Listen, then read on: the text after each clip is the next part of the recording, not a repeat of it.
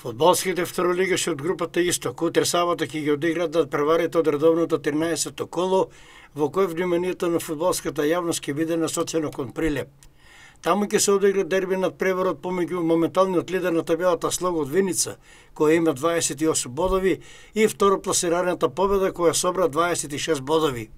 Во што пак екипата на Кит Го ќе биде домакин на тимот на Братство и благодарејќи на одличната соработка со Фудбалската федерација на Македонија, на нашата Емнет телевизија на каналот Емнет Спорт ќе вршиме директен пренос од овој меч.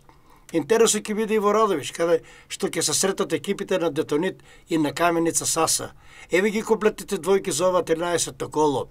Кит Го Братство, Беласица Кожув, Детонит Каменица Саса, Победа Слога и Локомотива Осогово.